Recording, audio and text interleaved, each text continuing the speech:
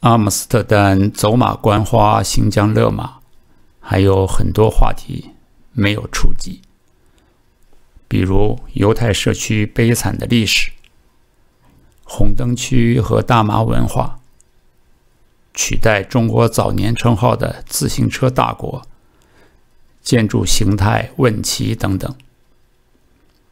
这些命题不是过于重大。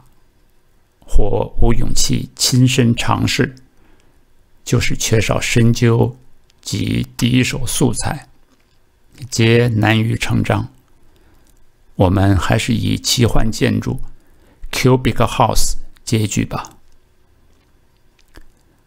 位于鹿特丹旧港区的方块屋是由荷兰建筑师 Piet Blom 设计的。其实世界上有三处方块屋。最早的只有三间，一九七四年建造在荷兰的黑尔蒙德。第二处，鹿特丹的方块屋最为著名，建造于一九八四年。这一建筑群由三十八个小方块屋和两个巨型方块屋构成，彼此相连。第三处，则在加拿大的多伦多。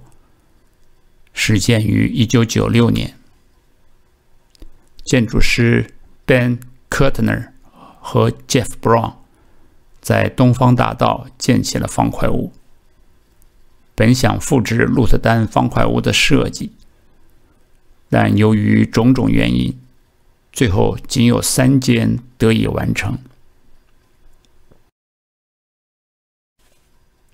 我们就以圣桑。动物狂欢节中水族馆一章的音乐，伴奏水晶一般亦真亦幻的方块舞，结束阿姆斯特丹之旅吧。